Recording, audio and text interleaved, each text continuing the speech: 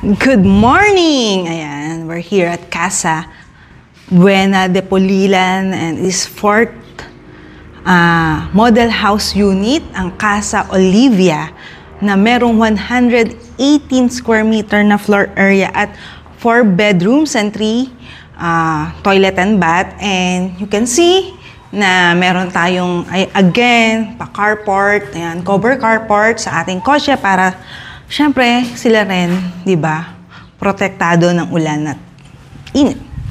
Check inside. Hello, future home buyer. Ayan, so pagpasok nyo, pwede kayo maglagay ng foyer dito. Ayan yung foyer ninyo. Pwede nyo lagyan ng shoe rack sa gilid. And this is your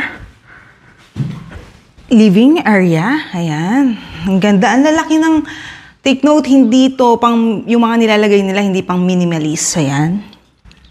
Ayan. So, living area. And this is your dining area. Ayan. So, open concept siya ng ating, ano, and ang kagandahan niyan, di ba, may pa counter bar pa tayo, di ba? Coffee or bar, wine, yan, or nook, breakfast nook, and here is your kitchen area. Ayan, so dito nyo lagay yung inyong kalan, dito yung ref, tapos paglabas nyo yung sa laundry area natin. Ayan, pero nakalak. Ayan ang ating la Ayan ang ating laundry area or dirty kitchen. So, lagi meron tayo sa likuran space. Okay. Ayan. Ang kagandahan, again, ng unit na to, meron tayong bedroom sa baba. So, kung meron kayong guests, ayan, mahilig kayong mag-entertain ng guests. Pero bago yan, syempre, itong ating uh, common tail, uh, uh, toilet and bath sa ating first ground. And ito ang ating, uh, di ba? Ang laki niya. Alam mo, sofa bed to na magiging, ayan, double size. So, or entertainment, game room area ng mga kids. Yan, so nice. So, let's go upstairs. Nakikita niyo ba yung mga pa-natural light na window? Open, ah, yan, ng ating ah, Casa Olivia, di ba? Ang ganda kasi natural light pumapasok. And the space ng ating stairs. Look at that. So, hindi kayo magkaka... Kahit masabay kayo magka-holding hands sa inyong asawa, kayang-kaya nyo umakyat. So, ayan, consistent talaga sa ating uh, Asian land.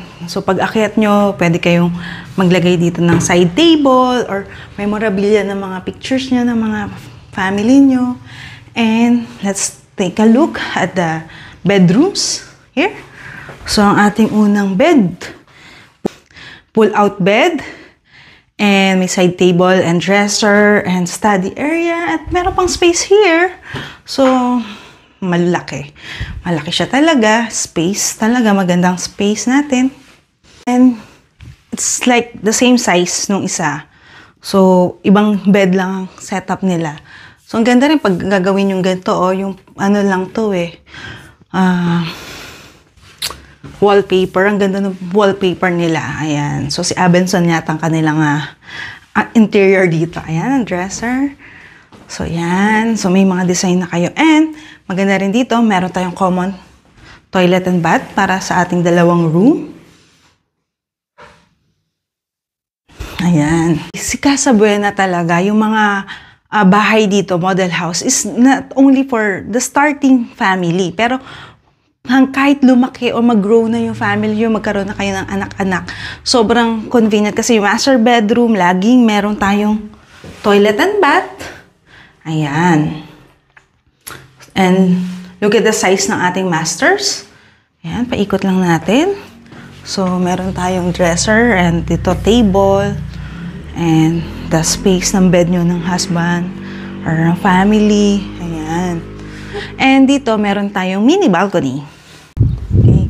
So, we have a mini balcony here. Pero I, do, I think baka pwede nyo rin gawin to. Oh. Sayang yung space. So, paalam uh, for approval lang kung pwede nyo siyang harangan ng railings para may space pa kayo, 'di ba? May pa-party or wala chill lang kasi sobrang ganda mag-chill dito sa Casa Buena. Dahil napakalakas ng hangin and parang nasa city kayo, malapit kayo sa Plaridel, sa Baliwag. And you all have the ac- accessible na sa daan, pero at the same time tahimik. Ayan, so if you like this unit, you just message us. Huwag kayong mag-message sa iba. Hindi. So message us and ah, para makapag-schedule ng tripping or any inquiries para masagot namin mga needs niyo. Thank you. God bless.